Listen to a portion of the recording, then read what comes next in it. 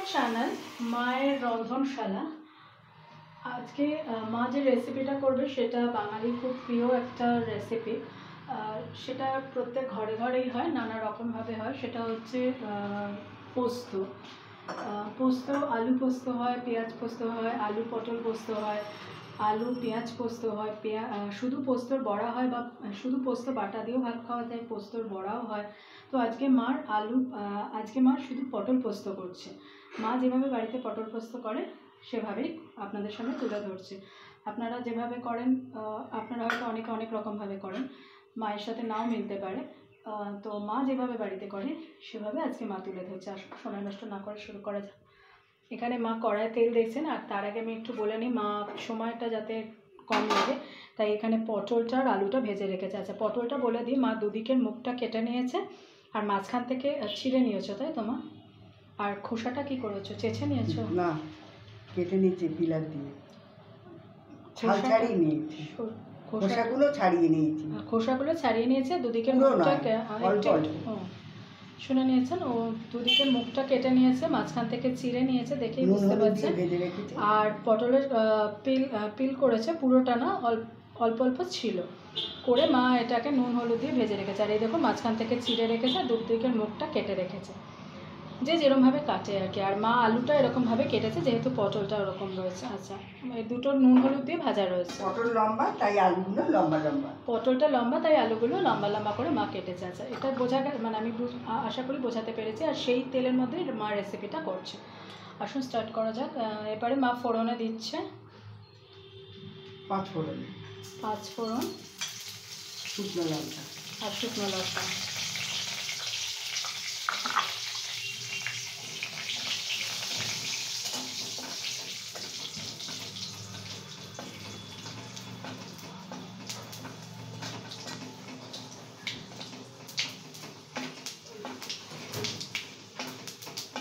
পাঁচ ফোড়নের একটা সুন্দর গন্ধ বেরোচ্ছে।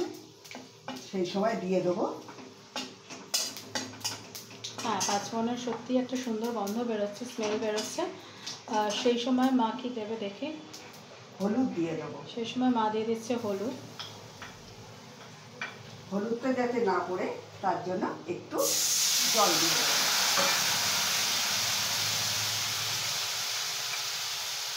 আর দেবো সামান্য একটু রেড চিলি পাউডার আচ্ছা দেখলেন ফার্স্টে মা হলুদটা দিয়ে দিল, যাতে মশলাটা না মানে হলুদটা না পুড়ে যায়, তাই অল্প একটু জল দিল, আর সামান্য একটু রেড চিলি আছে। এখানে একটা কথা বলে নিই আমার মা কিন্তু পোস্তটা জল ছাড়া করবে মানে যেটা বাড়িতে করে আর কি, সব পোস্ততে মা জল দেয় না কোনোটাতে। আচ্ছা এরপরে মা দিচ্ছে পরিমাণ মতো নুন। আপনারা দেখলেই বুঝতে পারবেন, যার জন্য আলুটাও ভেজে রেখেছে, পটলটাও ভাজা রয়েছে।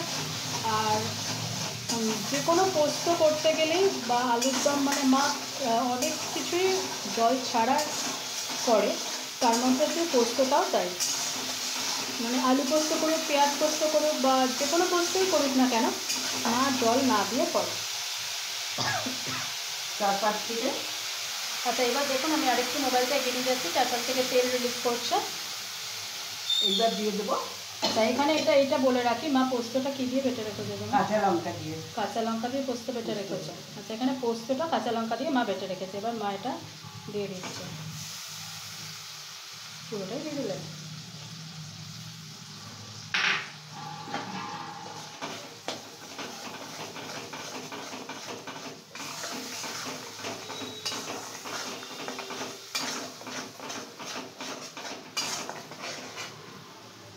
পোস্তটা হতে থাকুক একটু তো নাড়তে হবে। ততক্ষণ বাইরেটা দেখাই আমি একবার। এই দেখুন।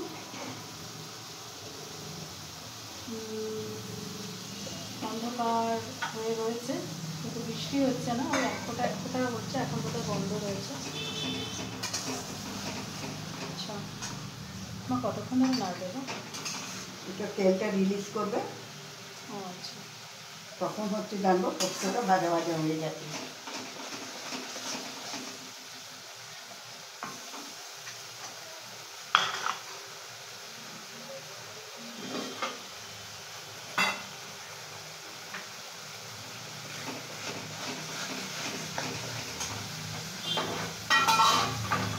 এবার চিনি দেবো। আচ্ছা যেহেতু নিরামিষ রেসিপি তাই মা চিনি দেবে, আর আপনারা চাইলে চিনিটা নাও দিতে পারেন। অনেকে তো চিনি খান না, সেক্ষেত্রে চিনিটা নাও দিতে পারেন। আমাদের বাড়িতে দেখুন। এবার বুঝতে পারছেন, আশা করি চারপাশ থেকে খুঁটিটা একটু সরা যে দেখুন, চারপাশ থেকে কীভাবে তেল রিলিজ করছে, আশা করি বুঝতে পেরেছেন। এবার ভেজে রাখা আলু আর পটলটা মাদিয়ে দিচ্ছি আর কাঁচা এর মধ্যে দুটো চেরা কাঁচা লঙ্কা ছিল সেটা মাদিয়ে দিচ্ছি আচ্ছা এটা তো বোঝাই যাচ্ছে খুব সিম্পল রান্না। আর খুব চটজলদি হয়ে যায়। আর খুবই সুন্দর খেতে। আর খেতে তো সত্যিই অসাধারণ হয় এক কথায় পোস্ত হলে আর কিছু মনে হয় লাগবে না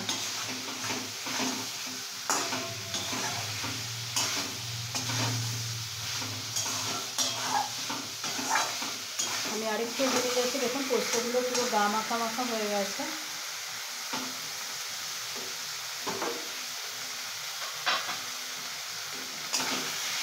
দেখুন প্রত্যেকটা আলু পটলে পোস্ত একেবারে মাখা মাখা।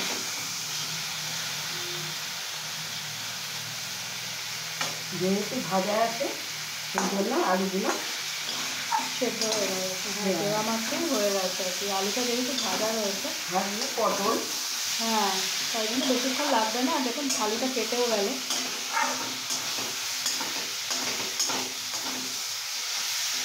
একটা দারুণ সুন্দর রেসিপি খুব অল্প সময়ের মধ্যে হয়ে যায় আর সবার প্রিয় একটা রেসিপি যেটা গরম ভাতের সাথে সত্যিই ভীষণ ভালো লাগে। আর এর সাথে একটু মুগ ডাল বা আরেকটা কী ডাল বলো না তুমি আরেকটা কী ডাল বলো? কলার ডাল। হ্যাঁ কলাই কলার ডাল কিংবা বিউলির ডাল বলে। আচ্ছা সেটাকে আবার দিল্লি ডালও বলে? যাই হোক সেটা হলে তার সাথে আর কোনো কথাই নেই। আর এটা এমনি শুকনো ভাত দিয়েও খেতে ভীষণ ভালো লাগে। দেখুন মা সহজটা মেরে যাচ্ছে আর পোস্তগুলো দেখুন পুরো আমি এগিয়ে নিয়ে যাচ্ছে বোঝা যাচ্ছে। প্রত্যেকটা পটল আলুর সাথে পোস্ত একদম মাখামাখি হয়ে রয়েছে। তো মায়ের আজকের এই সিম্পল এবং কুইক রেসিপি পটল করছে। একদম হয়ে গেছে পটলটা হয়ে গেছে না? এই যে।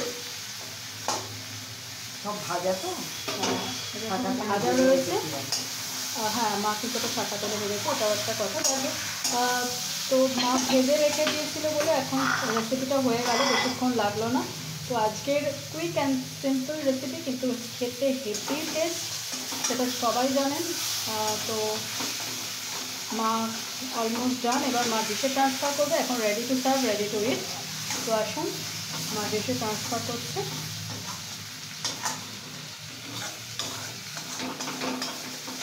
আশা করি আপনাদের ভালো লাগবে। হ্যাঁ আপনারা তো এক একজন এক এক রকমভাবে খান। মা এই প্রসেসে করেছে। আশা করি মায়ের এই প্রসেসটা ভালো লাগবে। তো ভিডিও এন্ডে যে রিকোয়েস্টটা আমি রোজ করি please please please please please please please চ্যানেলটাকে সাবস্ক্রাইব করুন আমাকে আমাকে আশীর্বাদ করুন যাতে আমি আর মা এই চ্যানেলটাকে নিয়ে অনেক দূর এগোতে পারি। প্লিজ আমাদের পাশে থাকুন। আশীর্বাদ করুন পাশে থাকুন সাথে থাকুন আর প্লিজ চ্যানেলটাকে সাবস্ক্রাইব করুন আর দেখতে থাকুন মায়ের রন্ধনশালা চ্যানেলটি মায়ের রেসিপিগুলো মা যেগুলো বাড়িতে করে সেগুলোই মা তুলে ধরে। প্লিজ আমাদের পাশে থাকুন আর দেখতে থাকুন মায়ের রন্ধনশালা। প্লিজ প্লিজ প্লিজ চ্যানেলটাকে সাবস্ক্রাইব করুন আর যদি আপনাদের সম্ভব হয় প্লিজ একটু শেয়ার করে দেবেন যাতে আরও অনেকে দেখতে পারে আমাদের চ্যানেলটাকে সাবস্ক্রাইব করতে পারে। প্লিজ আমাদের পাশে থাকুন প্লিজ দেখতে থাকুন মায়ের রন্ধনশালা। অন্যদিন অন্য কোনো রেসিপি নিয়ে আবার ফিরে আসব। আমার কড়াই এখনও রয়ে গেল হ্যাঁ আচ্ছা এখানেও রয়ে গেছে ঠিক আছে। মা পরে আবার দিয়ে দেবে। আজকের মতো এই অবধি। অন্যদিন অন্য কোনো রেসিপি নিয়ে আবার ফিরে আসব। টাটা ভালো থাকবেন।